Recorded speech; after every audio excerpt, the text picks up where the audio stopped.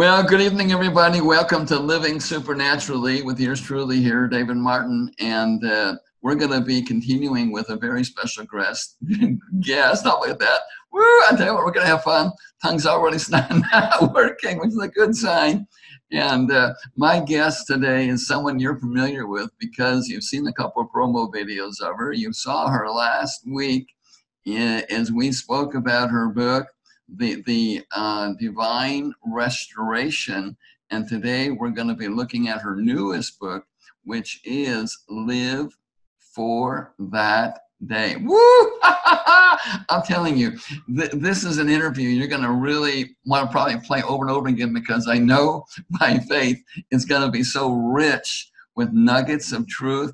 And I'll tell you what, you know, sometimes people don't have a good perspective of the reality of life and the reality that someday we're going to stand before God and give an account of all that we've done. And that day is called the, the judgment seat of Christ.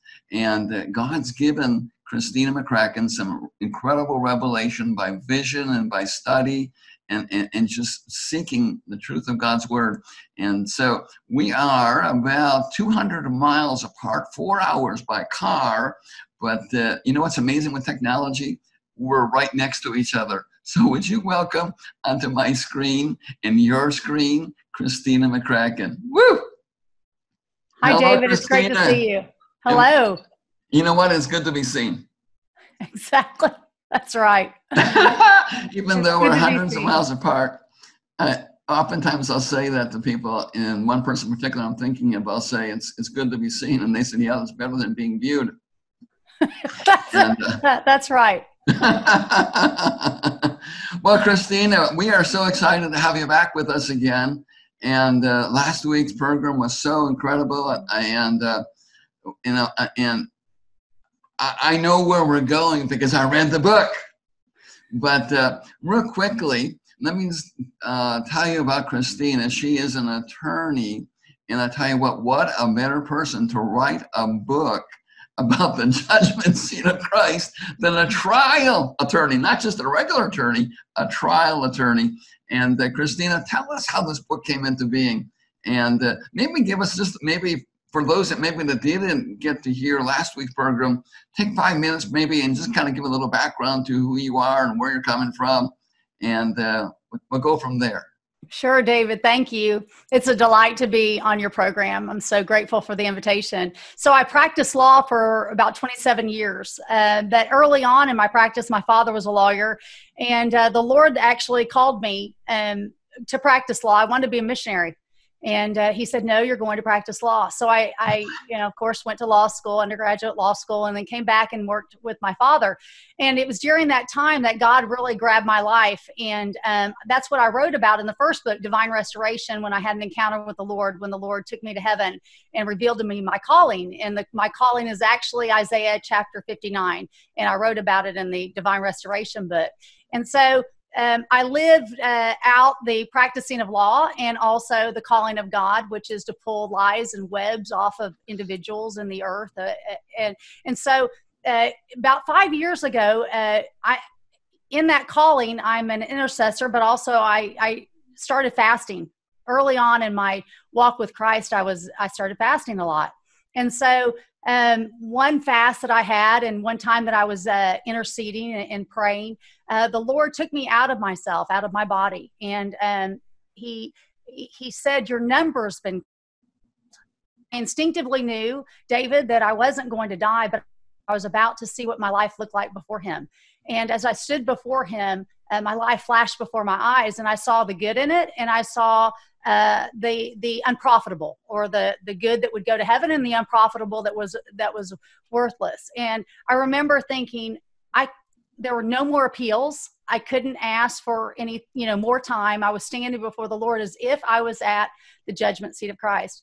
And i wasn't i wasn't pleased with what i saw. In fact a, a tear fell from my right eye. And i thought I wish I had brought more to the Lord. I, I needed more time. And so after that encounter, I, I came to myself and I started beseeching the Lord uh, for more time, more time to make things right. And David, what's interesting about the encounter was is that I was a spirit-filled believer. uh, obedient to the Lord, teaching the Word of God, loved Jesus, loved His people. Um, and and did and knew walk through everything I knew to walk through in the Word of God, uh, but uh, I still didn't have what I wanted to bring to the Lord. And as I saw my life before Him, it wasn't anywhere uh, what I would be satisfied with uh, in eternity. And so again, I asked the Lord for more time. And so when I did that, the Lord gave more time, but He also, uh, I started seeking Him about what would be, what would, how could my life be better? And uh, to bring Him more bounty. And so at the time my mother was living, I was very close to my mother, and the Lord gave me a dream. And in the dream, my mother was running to uh, into a, the seashore into the ocean and she was so happy but my mother didn't swim and so i was really uh, surprised at the dream and i was on the shore back and she looked back at me like, no way I'm going to return. And she was so happy just running into the ocean. And so I came out of the dream and I said, Lord, what was that about? And he said your your mother's ready for heaven but you aren't. And that really surprised me because my mother you know david my mother was a quiet believer. She she loved the lord. She had faith and and she she loved his word but she didn't speak a lot about it. You know our personalities were very different. And so i started looking at my mother's life and trying to discern what did she have in there that that qualified her to be ready for heaven yet i was not ready for heaven and the lord started reveal to me that it was it was love. It was the measure of the divine love in my life. I watched her life and she was uh, she unconditionally loved people. She had truth in her but she still unconditionally loved people. And so i started to this quest and this journey david of, of divine love and reading the scriptures in corinthians and reading on on god's love. And it was that that the lord started to really unfold this book and then I had an encounter with the Lord where um, I had uh, He had given me some books to read uh, at an event that I went to. I went to an event for a, a, man of God for his ministry, and they gave some books away at the event. And so I took these books home, and because I'm an author, David, uh, you, you, know, I, I, look at the books and I'm always, you know, honor uh, the writing of, of books. And so when I took the books home, one of the books was called The Bema and it was written years ago. It was a novel, but it really grabbed my heart. And uh, as I kept reading it, and I read it over twice, the Holy Spirit spoke to me. I heard, actually, I heard the Lord's voice, and He said, I want you to write a book on the Bema of Christ. And so when the Lord said that to me, I, I actually got excited about it because as a lawyer, you know, I, I'm always preparing people to go into courtroom, readying them to stand before a judge, readying them to prepare their case to enter in with their testimony, with their evidence. And um, and so I thought, well, that would that's perfect because you know we're readying all of us getting ready to stand before the lord on that day for our for our evaluation of how we lived our life. So it was just a joy how the lord gave gave that book uh, to me to write. And i spent the last year and a half it just was published in 2020 and spent a year and a half before that uh, writing the book and and studying the scriptures and asking god for revelation on on on standing before him and readying ourselves. So i'm really really excited to bring this book to the body of christ well, Christina, between the, the visions and, and revelation and the study, I mean, it's so obvious.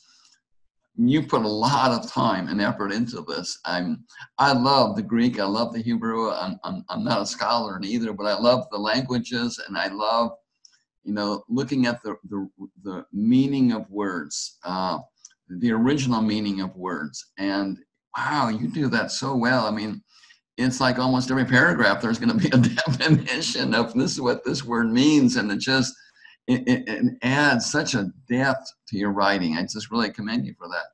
Thank you. It, it actually it, it does. It helps all of us when we can take the words apart from the scriptures and, and you know extrapolate their meaning or their, the depth of their meaning. It makes the sentence it makes the concept it makes the thought you know just go deeper farther and wider. And and uh, how exciting well, there's so much, so many questions I have in mind, but you know, something that I, I think people really uh, need to understand uh, that I, I, see a lot of people confused when you say judgment seat of Christ. What exactly is that?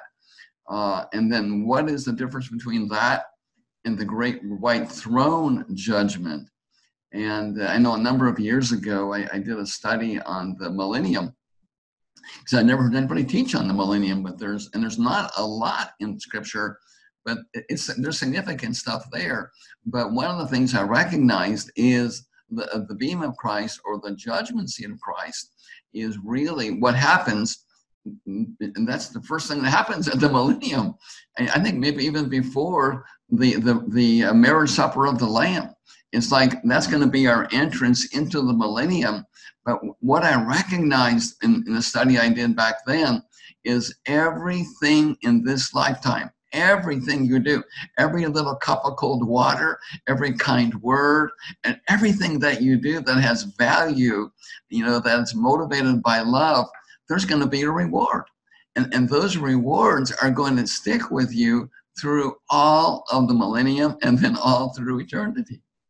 Yes, that's that is exciting. That's correct. You know, there were so many instances when I was writing the book um, of the Lord speaking, and one of those was uh, how we have often forget, or we often forget about what we've done for Christ and uh, we we don't think a lot about it or or we uh, reduce its value but the lord remembers everything and i remember as i was writing a particular chapter you know about god not forgetting uh, our works for him and uh, as i was putting that together the lord took me in a vision and, and i saw all these things that i'd done for the lord in the past. And now i had totally forgotten them couldn't re- didn't remember them but the lord just had them all displayed. And i thought oh my gosh you know he remembers every single detail all the things that we have forgotten he has a memory of.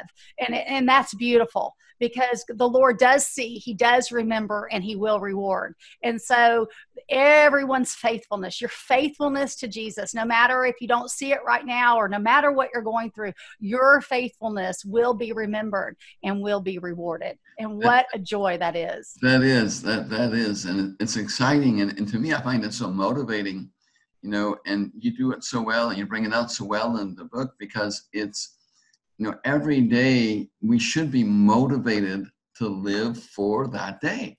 And, you know, we, we need to look for opportunities to, to do good. And again, you bring it out so well. And there's one chapter he spoke about love, and particularly what, about loving your enemies and, and really how to garner you know the the biggest best reward i have to work on that yeah, you know that you know I, am teaching a, a, class right now, and we're going through the chapters of the book. And each chapter, I'll begin it each week, and I'll say, "Oh my gosh, this is my favorite chapter." And the, the ladies in the, the class all laugh because each chapter is, I, I think to myself, my favorite chapter. But that chapter on garnering great rewards, you know, the scriptures and the gospels tell us Jesus, out of His own mouth, says certain things that will that will receive great rewards in the kingdom. And those those uh, scriptures actually relate to our enemies. Yeah. And and i think i just thought that was so uh, that was so god to allow you know the fact that when your enemy comes against you when you can love him and when you can do good toward him therein uh, allows you to receive great rewards in heaven.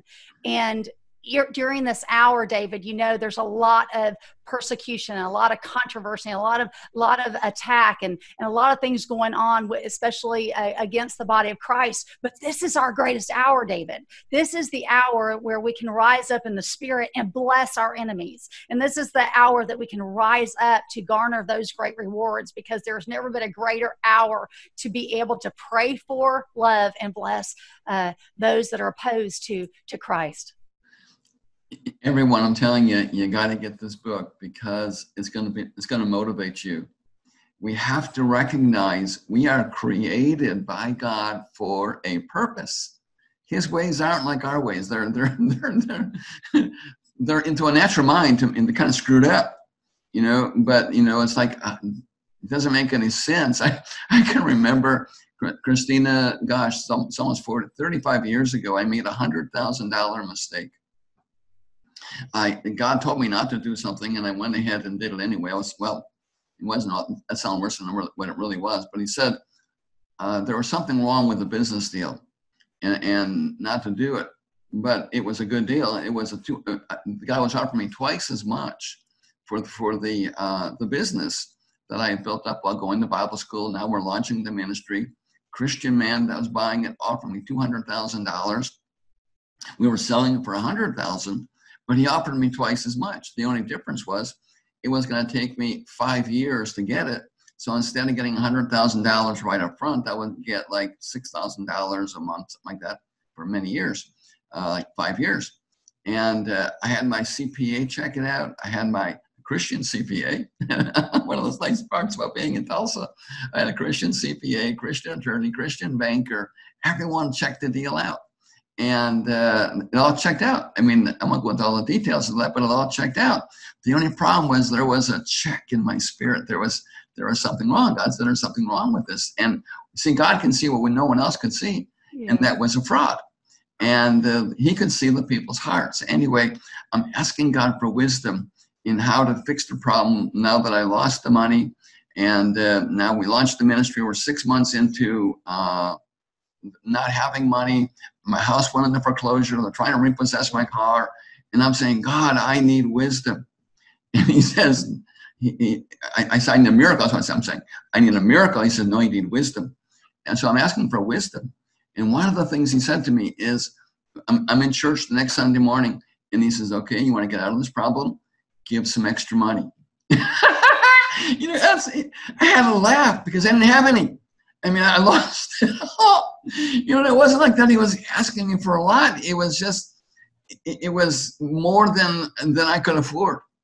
But you know what? It set the stage, then a number of other things, and the, the need was completely met in six weeks. Amen. Uh, it, it, Amen. it was profound wisdom to to give and and that's god's upside down realities they don't make sense to the natural mind yes. and loving your enemies is one of those and i'm, I'm telling everybody when you read the book you're going to see christina break these principles down verse by verse, word by word, actually. And you want to love your enemies. I honestly believe, as she just said, we're in the greatest time ever, and God never. Ne- never wakes waste anything and it's like this the bad news is an opportunity for us to garner woo to, to, to gather up this great abundant entry into this eternity Amen. It, it really is true. And you know, to, to be able to bless your enemies and to be able to forgive them and to love them as the Lord requires, to be sons of the Most High. That is, that's what the scriptures say. Um, it requires the power of the Holy Spirit. And so you cannot do this in your flesh and so the, and that's what the lord wants. He wants us to come out of the flesh out of you know of course our carnal life and get in this high place of the spirit so we can live in this high place of the spirit. And that is where the rewards are. The rewards of course are not in our carnal flesh. Those will be burned up but when we stand before the Lord, the things that we've done in the Spirit, the things how we've walked in the Spirit and done the works of God, those things will remain. So the Lord is challenging us, this the our, our you know the remnant here, the the this last round that we have to to come and rise up higher. And I believe we have the greatest opportunities, David, right now to, to be able to stand before the Lord ready. And uh, with all that is going on, we can bless and not curse. And, and I also believe it's going to change the atmosphere because God doesn't change. He's the same yesterday, today, and forever. And when we, as the body of Christ, do the commandments of God and do what God has commanded us to do, it will change atmospheres. It will change circumstances, change nations. It will. It is the power source on the earth. We are the power source on yes. the earth. The Holy Spirit is the power source on the earth.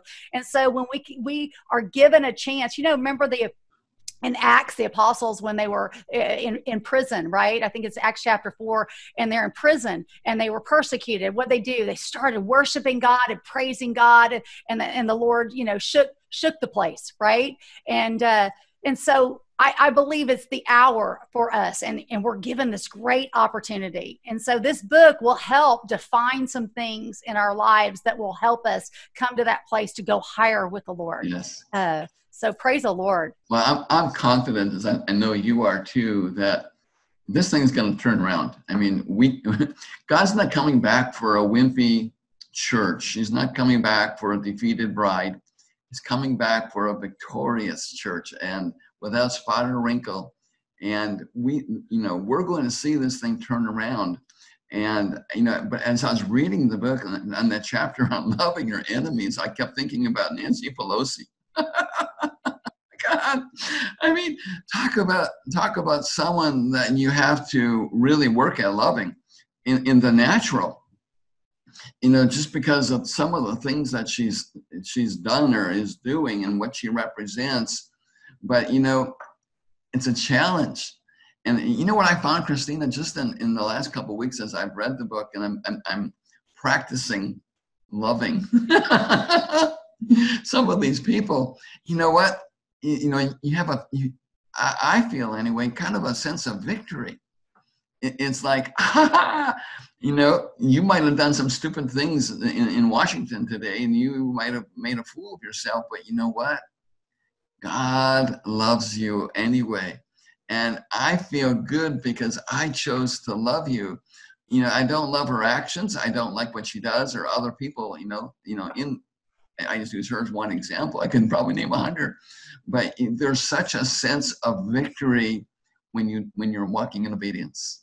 Amen. That's true. And you know, every realm of influence, the Lord allows us to be challenged with with something that opposes God uh, within us and that's just that that's part of being in the body of christ. We you know and jesus said uh, uh, we would overcome right? By the blood of the lamb and the word of our testimony. And so that's how we overcome. He says you know greater is he that's in me in, in you than he that's in the world. So that holy spirit power within us is greater. And so every realm of influence and, and anywhere we go we're going to see something that opposes. But this is our opportunity to to rise up and to pray and to bless. And the lord sees that. You know yeah. one of my favorite chapters, and it's got so many layers in it in the Bible, is the book of Job. And many many of the listeners have studied that. But at the end uh, chapter i think it's 42 in the book of job the last chapter you know god after he's he's dealt with job and, and dealt with the things that he wanted to with job he said i want you to pray for your friends. Now those were the indi- individuals that spoke uh, wrongly of god. But yeah. he said i want you to pray. And he, and god said your prayer i'll receive your prayer, Job, I'll receive for your friends. And when Job obeyed God and prayed for those friends that had spoke wrongly of Job and wrongly of God, it, the Bible says God turned the captivity of Job and that's a really interesting word. It means that it, it whatever the enemy was holding over job's life was turned and released. And we know in the scriptures that job received double portion uh, at, at, at, after all of these uh, circumstances with god. And so there are so many mysteries of the obedience when we obey God, mysteries, but the mysteries uh, of our obedience release things that need to be released to release blessings over circumstances over people to change atmospheres to also to restore bring restoration in our own lives. So as we're actually obeying god in this god is doing things in the spirit realm to bring blessings and order uh, over our lives. And so it, it's it's it's hard because it takes the spirit to do it but the benefits are so much greater Amen. Amen. Amen. You know, something I was thinking of as you were you were talking, and I actually thought of it before, and I wanted to mention it. You were talking about at the judgment seat of Christ, how He remembers all the good things that we do. And uh, what, what flashed in my mind is a conversation I had with Kevin Zadai uh, last summer. I had an opportunity spending a couple weeks with him. And those of you that don't know who he is, uh, he uh, he died like 30 some years ago, uh, went to heaven, was actually mentored by Jesus. Uh, he said it seemed like two weeks, but it's probably just a matter of minutes earth time uh, that he was actually dead on, a, on an operating table or dentist table. But in any event, what he said, what was so amazing is that when he was in the presence of God, there was no knowledge of evil. There was no memory of, of anything bad. And I couldn't help but think of, of as he was sharing this with me, how Peter's story, you know, thinking about Peter and, and how Peter must have felt just, I mean, so condemned, you know, because of what he did in, in denying Jesus, you know, uh, when he was crucified there or going through the questioning, and he denied him three times. And he said, Oh, no, no, I'll die for you, Jesus. But Jesus said, Oh, yeah, right. but then he denied him three times. And I can, I can just imagine Peter, you know, in, in the three days that he, you know, when he, when he rose from the dead and now, oh, he's alive. Now, how am I, how am I going to deal with this issue? And, and I can see myself kind of play acting. Well, I'm going to say this and this, and no, I'm going to say this and that. And uh, anyway, when he finally gets to Jesus and he, and he presents his case, and Jesus, I, I can imagine this, he'd say, What? What are you talking about, Peter? I don't remember that. Because you know, the Bible says he removes our sin as way far away as the east from the west to a place where it's forgotten, never to be remembered. And all through our life, you know, whatever bad we do, it's it's not going to be remembered. What what's going to be remembered and what's going to be rewarded is everything you did that was good. Everything that was motivated by love the gold and the silver and the precious stones. And and again these rewards are for all of eternity. Got that i mean what's what's a vapor of life when it's like a drop in the ocean it's like god has given this this lifetime to do exactly what christina said in her book i gotta find the book here put it up here uh, actually, I'm looking, I can see it on your screen there. It's behind you. Here's a close up of it. Let me get it right here. Live for that day, garnering rewards at the judgment seat of Christ. You know, it's like Kevin says this all the time that this whole world is rigged. It's rigged in our favor. And it's rigged in such a way, planned in such a way that God, God is trying to help you to win everything possible. And we just got, you know, this, this book is going to help you to wake up and to recognize what this life is all about. Live for that day. Live for that day where everything's going to be remembered, everything good that you did, every cup of cold water, every every widow's mite you gave, every offering, every act of love. Whew. Christine, I'm excited it is. I, I, love what you just shared because that's how I felt when I was writing the book.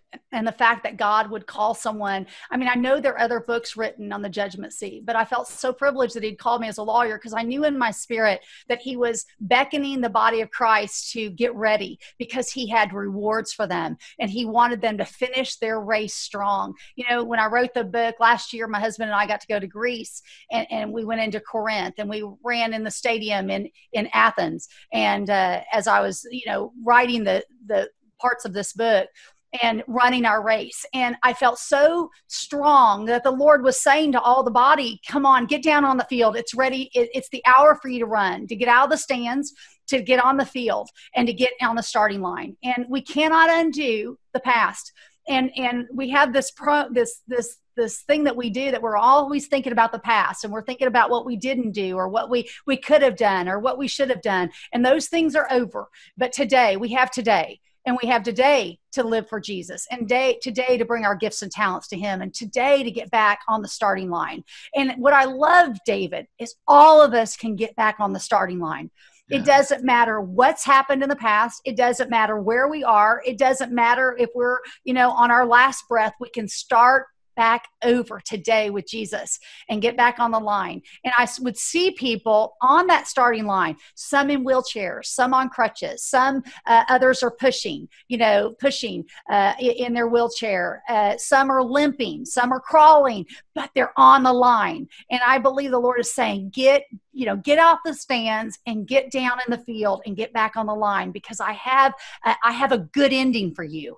I have a good reward for you. I just need you to get on the field to get that reward and to follow me on the field. You know i'm the author and the finisher of your faith Yes. And so I, I, I, this book is motivating the people, the individuals that have read it that I, I, you know, gave to read. And I said, I want to hear feedback.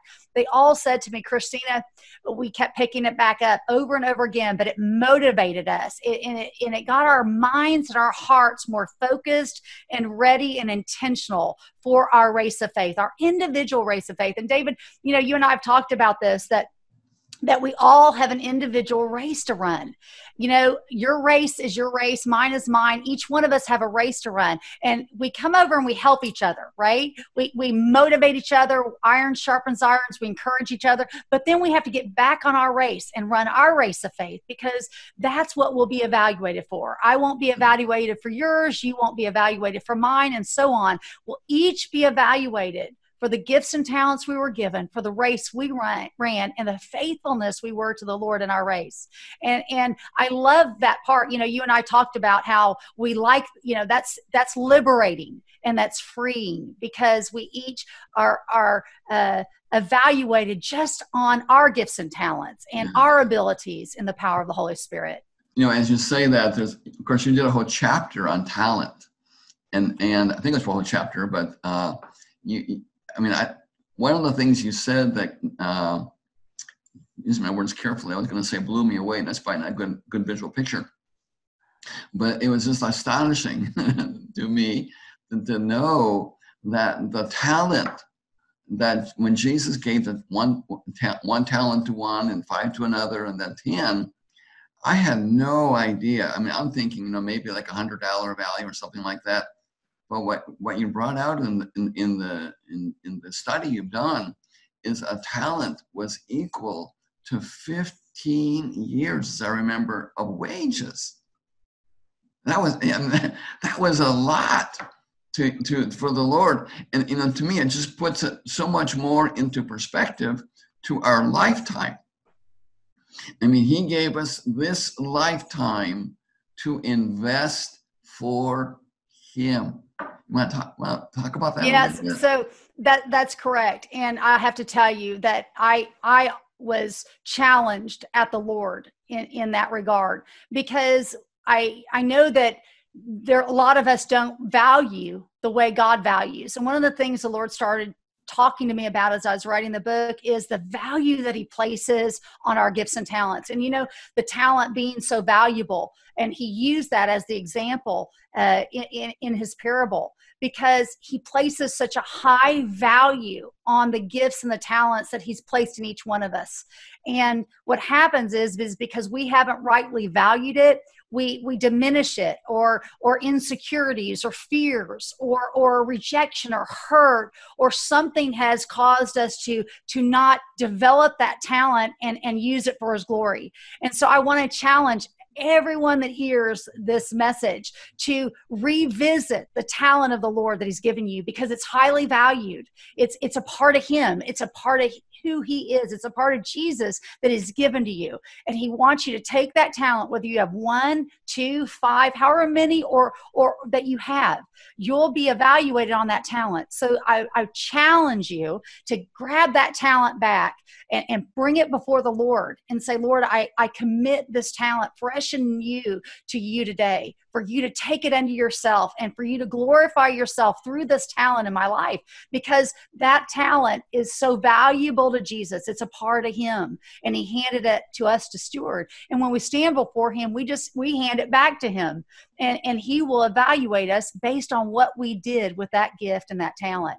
And so I share in the book I said if you're a singer start singing for Jesus. You know, if you're a painter, start painting for Jesus. If you're an encourager, start encouraging people for Jesus. Whatever gift or talent you've been given, start using it for Jesus. Ask Jesus to give it back to Him and say, Lord, take this talent for your glory and let it increase for your kingdom. Make great of this talent in my life. Amen. Amen. Something you brought out in the book, too, that I was interesting is a mistake that so many people make is comparison. You know, they compare themselves to somebody else. You know, what what my talent is is different than yours, and sometimes we feel like you know we're lesser because someone else has more. You know, the person that was given ten versus the person that got one, but the reward is the same for everybody.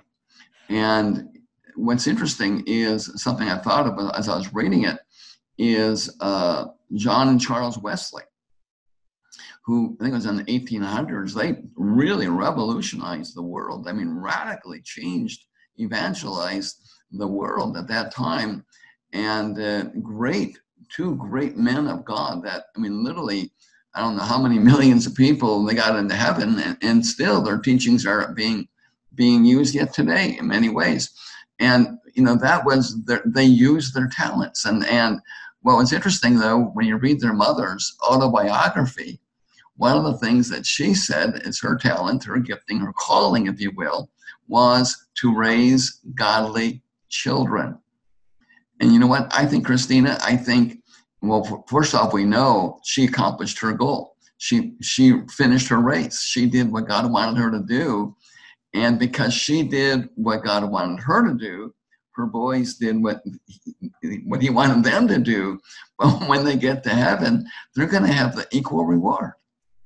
Well, you know, I, I love that you brought this up because God has a divine supply chain, and we're all in that supply chain and whether we're the intercessor or we're the encourager or we're the prophet or we're the teacher or we're the the servant no matter who we are we're in a divine supply chain and god has set this up and it's beautiful when we all come to the table and we all come and bring our gift and talent you know my my father would use this word and he'd say comparisons are odious now, I grew up with that word and I didn't know what the word odious was. So as I was writing this, the Lord brought this that word back to mind.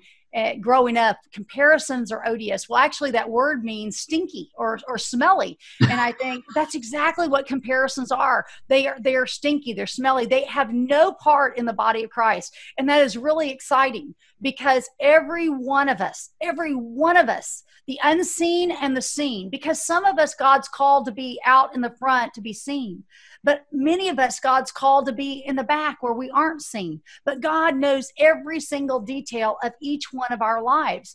And so what we have a tendency to do is we we have a tendency to look at the things that are the individuals that are seen and somehow inside compare that with us. That god doesn't do that he does not do comparisons. Your life is evaluated based upon your gifts, your talents, how He created you, the abilities that He's put in you, the fulfillment of what He's called you to do. And I, I, think that's one of the most liberating things if, if each one of us can grab hold of that. Because what it does is it causes us to stop looking at anybody else and start looking directly at Jesus for our race for our individual race that we have to run in faithfulness to him Amen. and i believe if we all do that this this whole thing is going to come to pass and this beautiful glorious bride is going to be seen not all, you know, in the earth yes but in heaven yes and i've also believed david that god is is wanting jesus is wanting to say not to a few but to all of us well done good and faithful servant yes. you know eh, God doesn't have just ha- have limited uh, benefits and limited rewards. He has unlimited benefits and unlimited rewards. And I believe the Lord's challenging his body to say, Come to the table, come to the starting line. I'm ready to display my glory through you. I'm ready to display my power through you. And I'm ready to display my rewards, my kingdom rewards. Amen. You know, what, what, keeps rising up on the inside of me is the importance of using our time wisely. You know, as it says in uh, Ephesians, where it says, Awake, thou that sleepest. You know, arise from the dead, and he'll cause you to shine. And then it goes on to say, Redeem the time, because the days are evil. And, you know, recognizing, you know, again, and this is what I like about the book, is it's motivating to use your time. You know, whatever time we have left, and it's less time than we had yesterday. whatever whatever time we have left, let's purpose to garner another reward. Let's purpose to, to do something that's not going to be burned up with because it's wood, hay, and stubble, just nonsensical stuff. You know, as I'm saying this, I'm reminded of, of a story I have a hard time always telling because I cry whenever I tell the story. But the, uh, there's a funeral director here in town. He's now gone on to be with the Lord. But probably about 30 some years ago, I, I was working with him on, on this business that I sold. Uh, it was a publishing business, and uh, I was publishing a story about him. And he, told he told me the story that his wife, Wanda, uh, was just a wonderful do good person and she always uh, did good for people. So she was garnering a lot of rewards. But one of the things that happened is she got very sick and actually uh, she died. And while she was in the hospital, uh, there's like 17 people that were praying for her. And when she died, she went to heaven. And God said, uh, Wanda, there are 17 people praying right now in the hospital that I send you back. and he said, the choice is going to be yours. And I'll send you back or you can stay here. And, and he said, but, you know, and she had already, she, she can see the bliss of heaven. But, she, but he said to her, Wanda, you don't have any sheeps. And she said, Lord, what are sheeps? And, and he said, well, that's somebody that you personally are involved in and winning them to the Lord. And, you know, she, she had all the rewards of uh, what we're talking about, garnering rewards for good deeds and, and stuff like that. But she was missing the reward of sheaves, you know, the stars in her crown for those people that she won to the Lord. And he said, Wanda, if you if you want, I'll send you back so you can get some more sheeps. So she came back and uh, she she told her what the Lord told her husband Jack what was ha- what happened, and he, he thought in his mind that, that yeah, there's exactly 17 people, you know, downstairs praying. Anyway, what happened was he said from that day forward, not one day, not one person escaped her without her telling them their need for Jesus. Mm. And that's beautiful. The the uh, here's the part that's hard. Time went by, and you know she won so many souls, got so many sheep for the Lord, but she got sick again, and she ended up back in the hospital, and uh, she went into a, a coma in, in the operating room. So she's back in the hotel, back in the hotel room, back in the the uh, hospital room, and a nurse comes and says, "Mr. Hayhurst, w- would you give Wanda a message?" And he says, "Well, I'd like to, but she's in a coma." And she says, "I know. Uh, I, I was one of the nurses that was attending her, and uh, I, I think though, if you speak to her, she'll hear it." And he said, "Okay. Well, would you like me to tell her?" Tell her, he, she said, she has one more sheaf. Amen. Amen. She said, Amen. When she was in the in the operating room before we before we did the procedure and before she went to the coma, she, we we can tell she was in excruciating pain. But everybody heard her story, and nobody accepted what I just did. Amen. so if you tell her she's got one more sheep, I think she'll hear it. So he said, okay. He told her, and she died. Praise the Lord. With one more sheep. And I just want to encourage everybody. You know what's important to the Lord is our souls and and we're talking about rewards but the greatest reward is going to be those people that you win to the lord that you witness to. And we, we just need to make every day count. So we get every sheaf possible and we have every reward possible. And, and, and again i can't encourage you enough. This book live for that day that's what this day is all about. That's what this life is all about. God's given us this, this moment in time to live for Him and to live for that day. So when we stand before Him, He's going to say, as Christina pointed out, well done, good and faithful. I'll let you talk. What the drip of my eye. wow. No, thank you for sharing that testimony and that story. That was needed. Amen. Bringing in the sheeps. You know, when you talk about rewards, it, it's it's really not about God giving us rewards, but yet He does, and He's very passionate about doing it. But they're all about Him. Everything is about Jesus. The souls are about Jesus. We love because of Jesus. We give because of Jesus. We go because of Jesus. It's all about Him. And in that passionate love that we have for Him, He says, Well, but I want to give that passionate love back to you. And I display that back to you through rewards. But I'll tell you what, there is nothing like the rewards of souls, souls for the kingdom. And, you know, I talk about that in the book. It's really important because every single one of us have a sphere of influence. Every one of us has a sphere of influence, and that sphere of influence is for us to influence for Jesus, for the kingdom, for souls, for the kingdom. You know, as you were speaking, I I, I want to share just this brief story. An individual that I know had a had a vision at one time, and and he saw the Lord let him see all these gravestones, and they were little bitty gravestones, and on each gravestone was a number and he saw lots of little gravestones with numbers on them and he said lord what are those gravestones? And and he goes those are, are babies that have been aborted. And, and he said well but lord what, what are those numbers on those gravestones? He says those are all the individuals that they would have brought to christ if they had been living. Mm-hmm.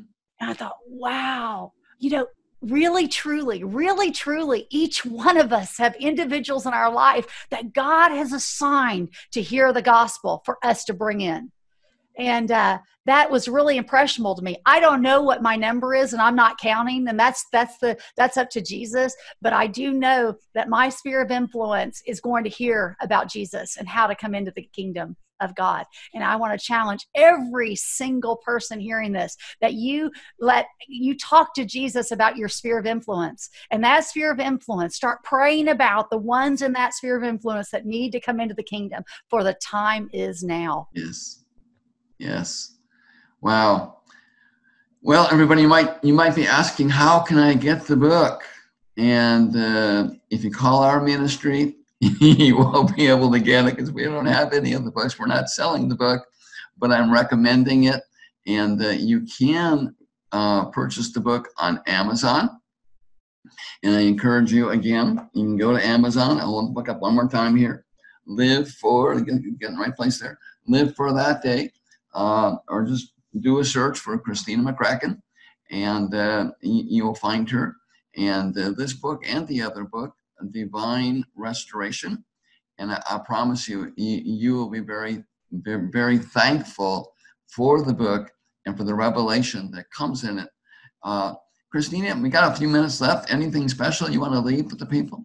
Well, Well, David, thank you for having me on the broadcast. I, I, you can feel the passion because I'm passionate about this day and about preparing the bride for that day in readiness.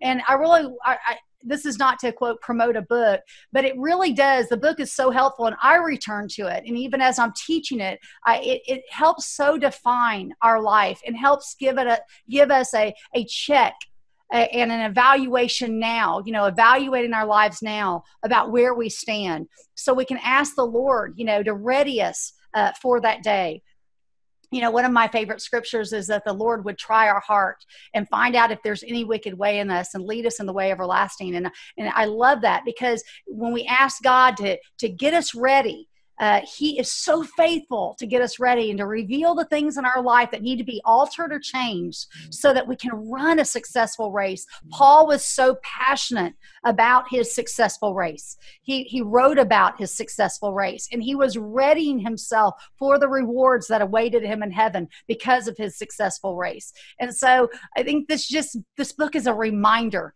that we're on a course and, and some of us need to shake off uh, some of the past, shake off our daily, uh, you know, grind. Some of us need to pull out some of these electronics that are connected to us that are slowing us down. And, and as Hebrews said, set aside every weight that so easily ensnares us, that we would run our race with endurance, looking unto Jesus, the author and finisher of our faith, who for the joy set before him endured the cross, despising the shame, and sat down at the right hand of God. So I would close with saying, set aside every weight that so easily ensnares and, and start running your successful race. Amen. Amen. Well, actually, I got about five more minutes here, but well, maybe seven or eight minutes. But let me make an announcement here. Well, before I do the announcement, as we were talking about everyone's got a number. You know what my number is? Most What's your number? I know my number. Well, actually, I know.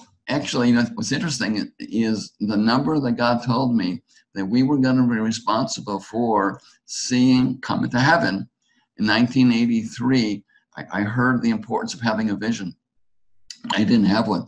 Marilyn Hickey spoke about the importance of having a vision, writing it down, and uh, I didn't have one. So literally in, in uh, 1983, I came home from that meeting and I said to my wife, I'm going to go up on Prayer Mountain. it's kind of funny. I call it Prayer Mountain. It's just a, a, just a flat spot on the on the back of our yard, but Prayer Mountain sounds more spiritual. So anyway, there was a place on Prayer Mountain and had, like an oval track. It's probably an eighth of a mile, um, about a half acre, and I would just walk in this big oval, and I would pray every day. And I said, I'm, I'm going to go up, and I'm not going to come down until God gives me the vision. Well, praise God, His grace spoke to me. And uh, what's interesting is what He said to me. You know what? I don't know if you can see it behind me here. I'm going to do something that's kind of not normal protocol, but right behind me, I'm going to point at it right up there. I'm going to reach up there and grab that.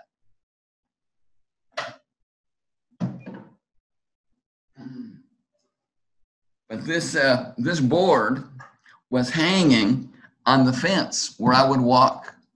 And every day, I, you know, I'd see that board there, and it was just a blank board. But I said, God, when you give me the vision, I'm going to write it down. And uh, so, anyway, I don't know how many laps. I was praying for maybe an hour, and then he spoke to me and he said, "Believe me for souls." I said, "Well, okay, give me a number." And he said, "How many do you want?"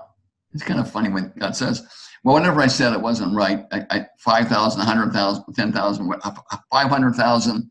I kept going higher and higher, and, and anyway, he said, when I got to a million, he said, "You can stop there, but it's just the beginning." Well, I, so I said, "Okay, I'm going to go write that down on that on that board, right?" Someone got my my can of red paint from the garage and my paintbrush, and I'm, I'm you know thinking about writing it. And God says, "Well, I'm walking back. You can't do it alone. You're going to need partners." He said, "You're going to need to believe for a thousand people to come alongside of you." I said, "Okay, I'll write that down." And then he says but most important, you have to keep your heart right. I'm thinking to myself, that is not going to fit on this small board I'm about to paint on. So I said, how about if I sum it up and just say Jesus number one? He said, that'll work. Okay. So what I did, 1983, I painted this board. You can almost see it there. Kind of worn off. I cut it down 20 years later, 1 million souls, mm-hmm. 1,000 partners in Jesus number one. That was the vision that we started with in 1983. And then 10 years later, kind of a long story, I won't go through the whole story, but God put me on a seeking time again because I knew there was something more. And what he said to me 10 years later, he said, the, the vision that I gave you 10 years ago was just the beginning. You need to know now, and I got this, Christina, over, over 100 times greater. That's 100 million souls. I'm still trying to figure out how to get the first million back then. Anyway, he said to me, though, but you need to know that it's not just seeing them get saved, it's seeing them discipled and serving me so since 1993, our ministry vision has been, and it's on the end of every one of these videos, you'll be seeing in a few minutes here, but over 100 million souls saved, discipled, and serving God. You know, Christina, all these years I've wondered how it's going to happen. And what God kept saying to me over and over and over again is we're going to these small churches and, and, and doing videos where there might only be 100 views, occasionally more, uh, sometimes lots I said, God, how's it going to happen? Know what he would say, Christina? Just be faithful. Just be faithful. Just be faithful. Well, here we are, you know, 40 years later, basically. Well, 20, 37 years from the vision point, 40 years of serving the Lord. But five years ago, he downloaded the vision. And we now have the plan, and we're going to be introducing the plan next week. And uh, I, you know, for those of you that are watching right now, I asked Christina to be with me to share the plan. And uh, Christina has been part of our focus group as we've been working on the what we call the prayer app. And, she's been helping on our focus group studies, and that's really kind of how I got to get to know her. And then from there, we, we got the book. And, and anyway, long story there. But in any event, we are going to be releasing the, the prayer app in September. And what God showed me is all Christians, whether you're Protestant, Catholic, uh, Baptist, Pentecostal, all Christians can agree on two things. Number one, Jesus is Lord. And number two, prayer makes a difference. Next to that, uh, according to Maslow's hierarchy of need, next to food, clothing, and shelter and love, you know what people need? They need to be needed. And what God showed me is now more than any other time of, of recent history, people know that we have a need to fix a world that's messed up. How are we going to do that? By prayer. So, what God showed me is how to build a global community with, we're believing for 1 million people in that global community by the end of September. I know it sounds outrageous, but we have a plan. And not only do we have the plan for 1 million, but when you see the plan, how it's going to unfold with exponential growth, that's why the corporation that's that's funding all of this and building it is called XO Lens. But in any event, we're gonna we're believing for 50 million people to be using the app by the end of October, 100 million by year's end. We're going to be unveil all that next week, and I've asked Christina to join me as a co-host, and she's been working on the development with us as an advisor. So I want to invite you back next week. Christina's going to be here with me, and you're going to see the release and the preview, at least, of the plan how we're going to do it, how we're going to change the world, make it a better place, and involve the entire body of Christ working together. So, woo, that's coming up. Christina? Amen. That's you exciting. You, got, you, have a minute? Anything you want well, to say? Yeah, I mean, there's so much to be said to that, David. How glorious.